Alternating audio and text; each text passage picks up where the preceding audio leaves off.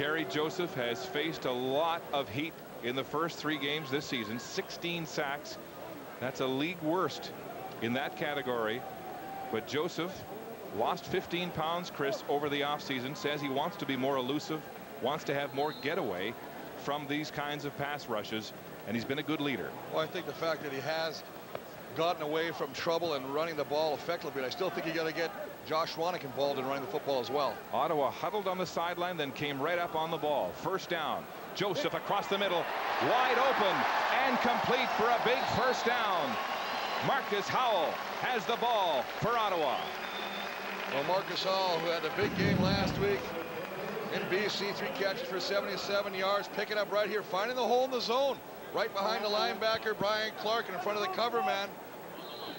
Nice execution. Ottawa in their hurry-up offense to start this first offensive series. As we mentioned, they huddled on the sideline before they came out, and they'll call the play over the ball. Joseph. Play action and a great fake. Everybody bought it on the Stampeders side. Joseph, the leading rusher for Ottawa, has a big first down.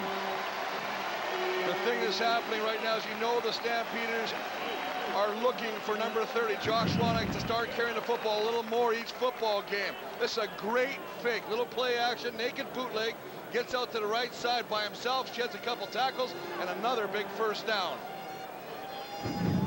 19 yards on the play action carry by Kerry Joseph and they'll stay on the line audibling the calls Joseph at quarterback with four receivers to the wide side a six receiver set throwing the hitch pass. It's complete. Jason Armstead takes it and heads straight upfield with some good blocking. He'll be just shy of another Ottawa first down. A good thing of just getting it out to the outside. As we take a look at the lineups. Josh Ranek only nine carries a football game. That's got to change tonight. Pat Woodcock, no catches last two football games. You know number 16 wants to be a factor in this football game.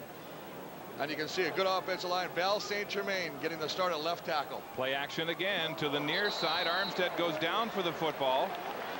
And it is a complete pass and another Ottawa first down. So these Renegades mixing it up, using some play action early and calling their plays at the line of scrimmage. And doing a nice job of utilizing the entire football field, going to the right-hand side on naked bootleg, as you say, going to the left side now, stretching out this 3-4 defense.